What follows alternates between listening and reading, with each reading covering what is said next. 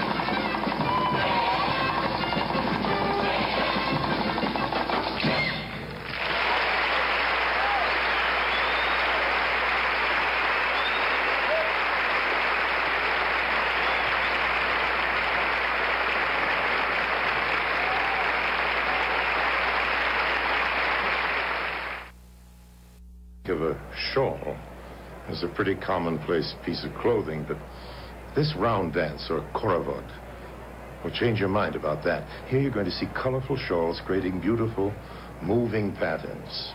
And they can be used in one of my specialties, too, magic. Yes, presto, change your and from behind the shawl appears what never seemed to be there at all. Oh, yes, and you'll find out it's possible for lovely ladies to float about the stage without seemingly moving their feet.